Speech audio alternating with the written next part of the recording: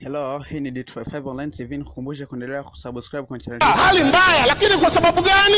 Tunataka kuwekeza wenyewe kwa kutumia pesa za serikali kwenye swala la kuzalisha umeme. Kazi ya serikali ibaki kutengeneza mazingira mazuri ya uwekezaji, badala sisi wenyewe kwenda tunatumia hela hii kidogo. Kwa uchumi huu mchanga, tunataka tuwekeze kwenye miradi mikubwa. Kwa mahesabu ya kawaida kabisa, Mheshimiwa Waziri, mipango hii inakwenda kuua uchumi wa nchi.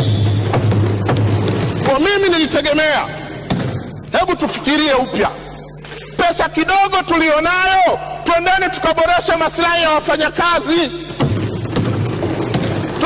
tukawekeze kwenye maji, kwenye afya na maeneo mengine ya huduma, badala ya kuichukua na kupeleka kwenda kuwekeza kwenye miradi ambayo inaweza ikajiendesha kibiashara.